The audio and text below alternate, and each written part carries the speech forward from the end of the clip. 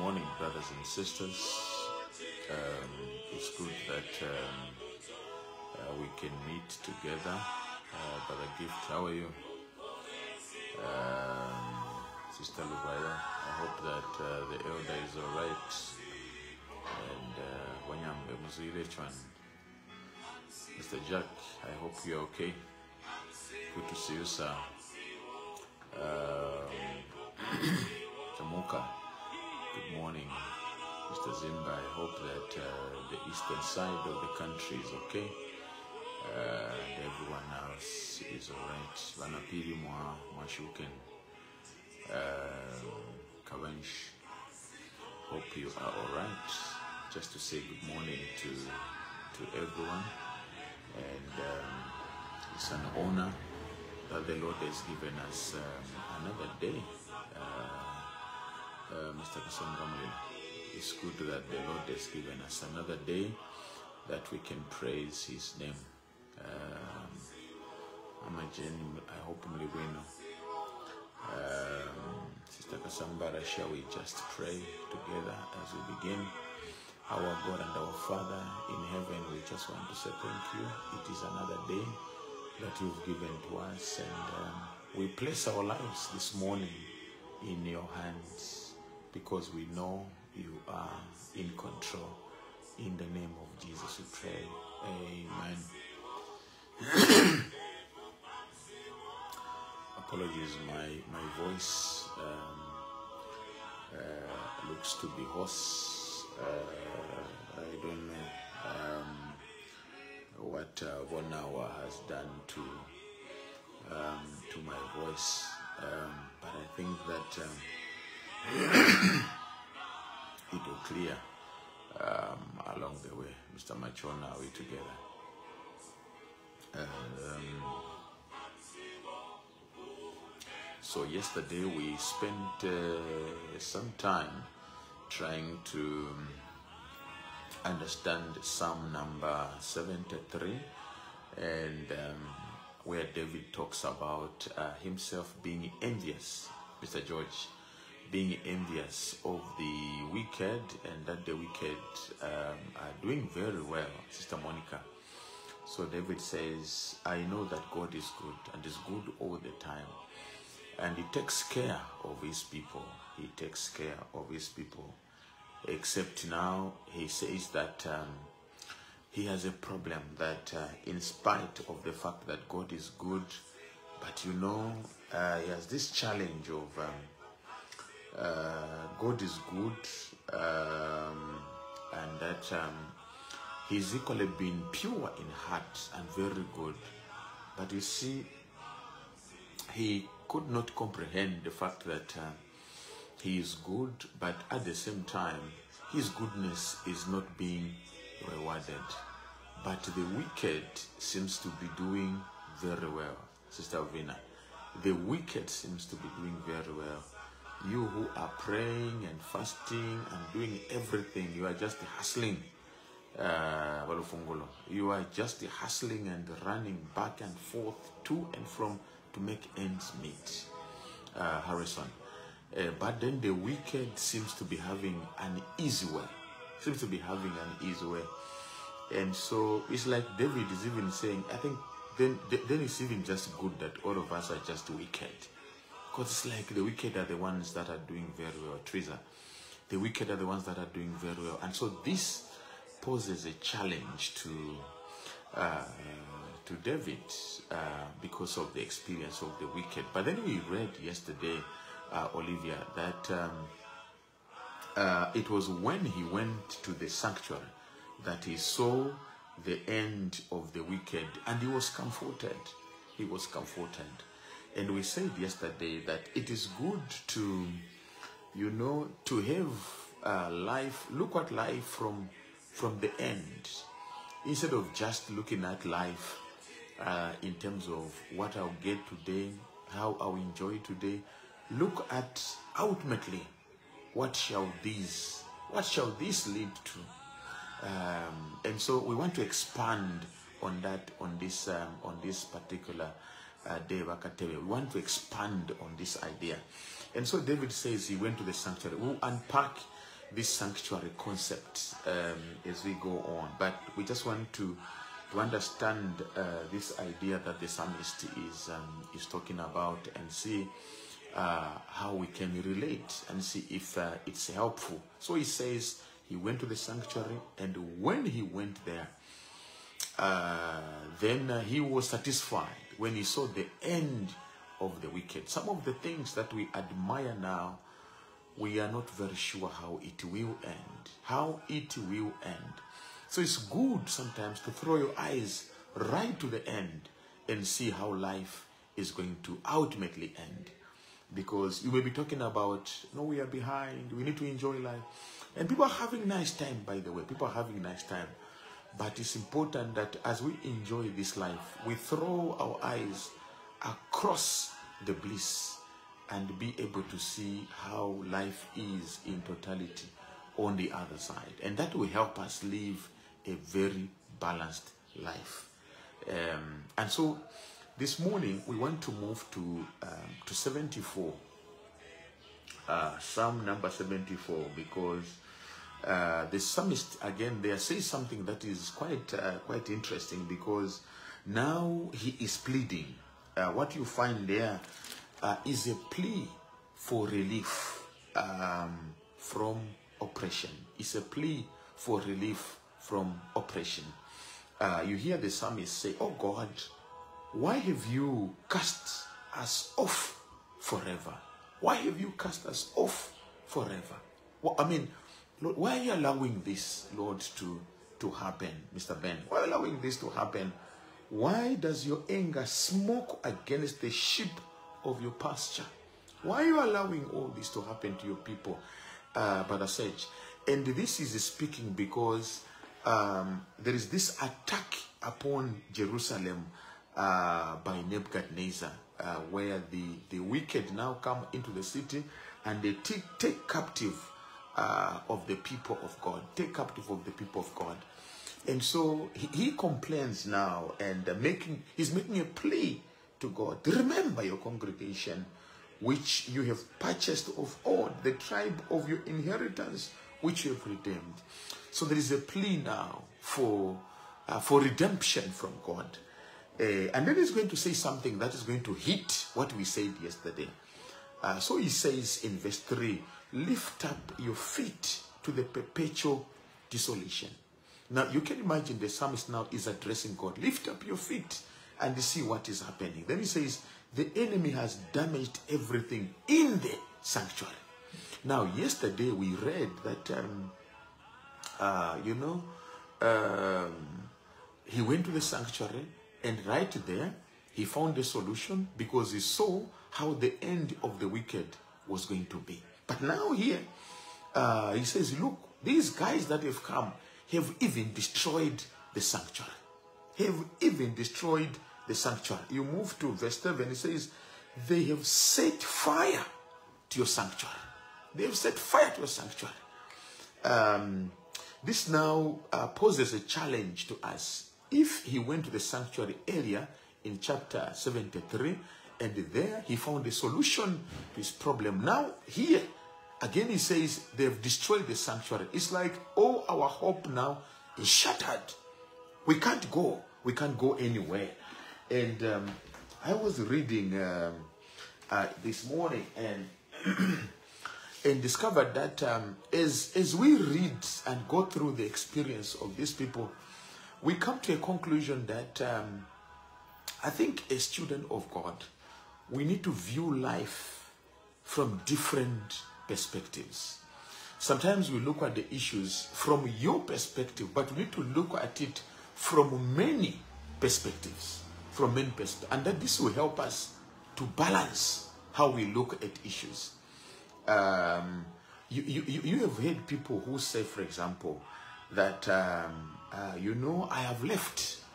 I have left him. Uh, uh, maybe that's a she uh, when I'm younger. Maybe that's a wife. I have left him. He's a problem. Hey, he has done what? He has done what? I have left him. But you see, that's your perspective. And what you are telling us that he is a problem. No, I I, I, I, I came out of that relation because, because he is, because he did this, because he did this. That is your perspective. That is your perspective. And sometimes, you know, when you hear one side of the perspective, it's like that's how the story is. Until you hear him. Until you hear him. You hear him on the other side. What is he saying? You, you are saying you left because he did this. But what is he saying? What is he saying? So we need to get the perspectives of life for us to understand and balance it uh, completely. You know, through the sanctuary services, uh, Testament about the um, the plan of salvation and how he meant to save his people, how he meant to save uh, his people. And through, through the sanctuary service, God wanted to teach them how life was and how life was going to be. And so it is important, colleagues, that uh, um, while on one side, the psalmist is complaining about how he feels they've been neglected, how they've been neglected. And that is true, how they've been neglected and how the sanctuary has been destroyed. We'll talk about the sanctuary thing uh, maybe the other day. It is also important, colleagues, to meditate um, on God's perspective. This is your perspective. For example, your perspective could be that um, I've not found a job, I've not found someone to, to marry or someone to marry me, or the business is not doing very well. That is your perspective. That's your perspective. But what is God's perspective? For example, we may be saying in this country, there's drought, there's drought, and the grass, the maize, and everything, and all the crops, and everything is dry. Oh God, why have you neglected us? Oh God, that is our perspective. But what is God's perspective in this particular story? What is the stake? Uh, while on this side, we say it's a drought. We are not very sure because God knows that there is a drought and it's not been raining and the crops are drying. God knows. God knows all those things are taking place. He is aware that uh, we need rain, we need water. He is aware. But you know, from this side, we can sit and pray and you do prayer and fasting so that we intervene, which is good. And we need to do that. We need to pray and seek for intervention. But what is God's perspective? What is God's perspective? What is it? that God wants to communicate. While on one side, yes, the sanctuary has been destroyed, your people are in oppression, and this. Why is this happening? We will build on this uh, into tomorrow. We need to understand God's perspective. Um, we, we need to, while we say, no, we are going through difficulties time, we are going through difficult time, maybe we need to ask the question, what are God's insights in these difficult issues. Yes, the, the issues are difficult. We are suffering. We're going through challenges. But what is the perspective? What is God's take on this issue? And, and, and going to the sanctuary, the sanctuary gives us a revelation of how God is handling the situation. How God is handling the situation. You, you, you know, we may, we may be trotting and jumping all over like popcorns. What is this now, God? What is going on? What's going on? We are suffering. We are dying. But you know, life has many perspectives and many stakeholders. And among the stakeholders in your life and in my life is God. God has a stake in this thing. On one side, we may be saying, No, God, um, why have we neglected us? The wicked are doing what? This is doing what? We don't know the perspective of God. We don't know the perspective of God.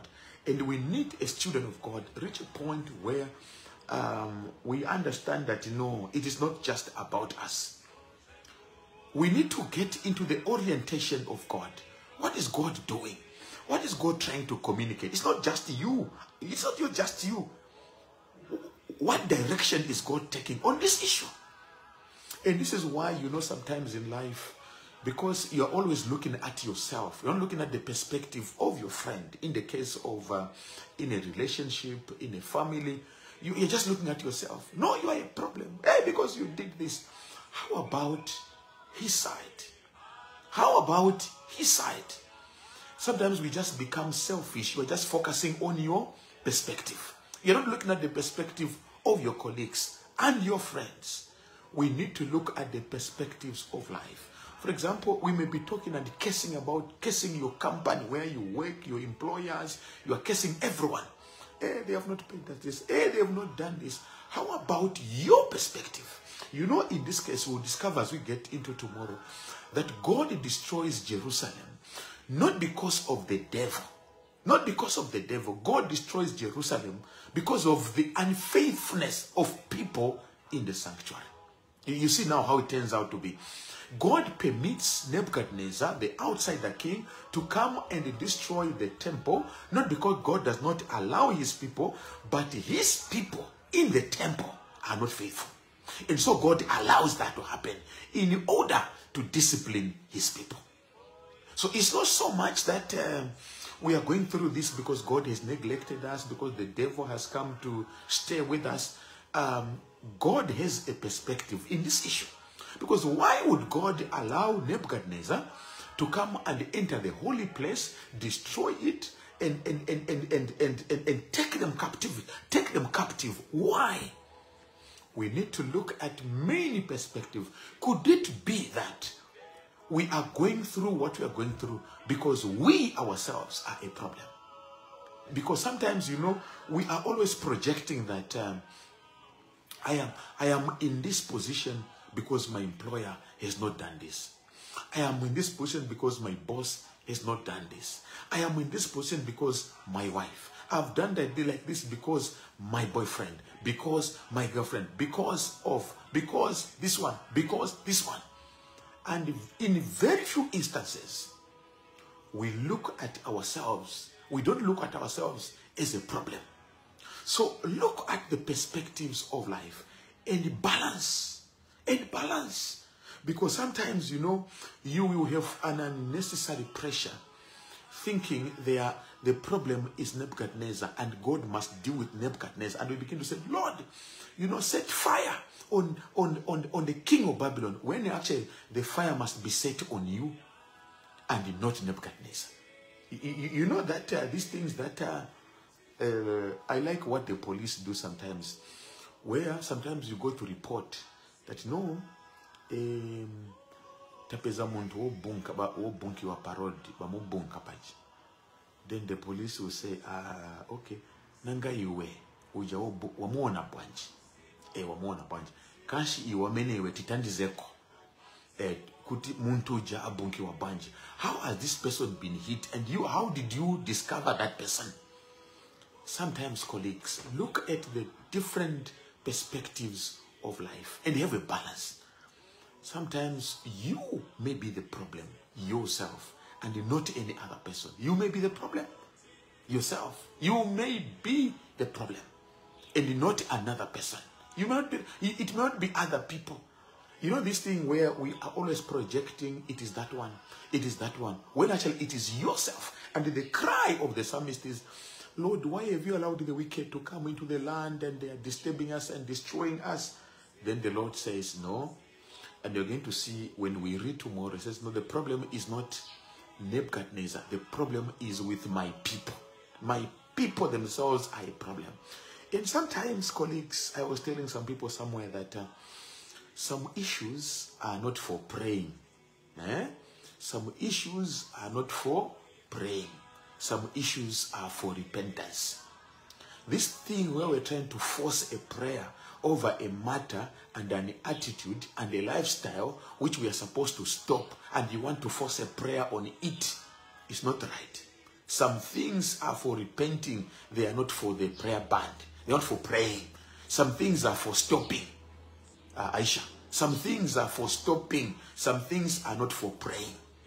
They're not for praying. They are for stopping and some kind of lifestyle that attracts demons they attract demons and so you may be praying that the demon must go away when actually the host is inviting them so some things are not for praying. Don't even waste time going to the pastor, to their prayer band, to the to the no. I need. Some things are not even for canceling. Kuleka fear, kuleka. We just need to stop doing them. So it's not like, no, I need counseling. Some of us, we don't need counseling. We just need stopping. Some things are for stopping. They are not for praying. They are not for counseling. And some things are not even for the sermon. My sermon now. Some things are just for stopping. You just know, ah, this thing I think is not right. Yeah, this thing is not. I need to stop this one. I need to stop this one. And so, and so the Lord allowed Nebuchadnezzar to come because his people are a problem. So the people must be disciplined. So the suffering is self-inflicted. It's not about the devil. It's self-inflicted. Self-inflicted things. You know that your lifestyle is not straight. And you are living a lifestyle of demons. And when the demons come, you want a prayer. No, colleagues. No, colleagues. You are living a life that is going to attract thieves. And when thieves come, you start complaining. You know, you are living a life that attracts murderers. And when they murder you, you start complaining. You are living a life that attracts uh, rappers. And when they rape you, you say, you need to pray for me. No, some things are for changing. That's why the, the Babylonians have come to, uh, to trample upon the sanctuary because there is a problem in the sanctuary in the sanctuary, the inside there, the people that are worshiping inside, there's a problem. There's a problem inside. So the problem is not external. The problem is internal. So God must deal with the internal problem before he can deal with Nebuchadnezzar. So this morning, colleagues, uh, look at the perspectives of life. Sometimes it's not about you. It could be about God. There's something God is trying to communicate. Sometimes it's not about other people. It's actually yourself. Look at yourself and say, no, no, no, I think eh, my life is not straight. My life is not straight. I need to put things right. You know, even these things where we say, no, no, no. For example, as a couple, no, pastor, come and talk to us. Come and talk to this one. He's a problem. Actually, you may discover that some of the things that we are calling people to come, pastor, counselor, elder, bishop, what, you know, we are just embarrassing ourselves. There is no need even of calling those people. Some things are just for stopping. To misango, to, they're just for stopping. Just to know what is causing this is this. And so, uh, let's stop this thing. You know? And so this morning, colleagues, I just came to share with you that before we start crying and complaining and casting aspersions on other people, let's sit down and look at the perspectives of life. Before we blame God, maybe God is trying to communicate something before we blame others, maybe we are a problem ourselves. So I pray that God will help us this day and reflect on life so that we can have a balanced approach uh, to life. Our God and our Father in heaven, help us this morning that um, we may have different facets to life issues. Yes, we know there are difficulties, moments are not easy, but help us, Heavenly Father, not just to look at uh, how evil the outsiders are sometimes the evil could be inside. Sometimes, Heavenly Father, you may be communicating something, but maybe you're not getting it. You may have a certain perspective. So help us before we make foolish decisions that we will see the many perspectives of life and make a decision that will be balanced and that will not be biased. So help us, Lord, this morning that this word will make an impression on our minds and reflect on the things of life. And that, Lord, some things are not for praying, they are for repenting. Some things, Heavenly Father, are not for discussions, to call other people to give their views. We just need to change and stop. But we are lacking the willpower to stop. So we ask for your Holy Spirit to help us move into action and abandon that which is not right and embrace righteousness. This is our prayer in the name of Jesus. Amen. God bless you, colleagues. Um, we will see you again tomorrow morning. Stay strong and uh, encourage others. Amen.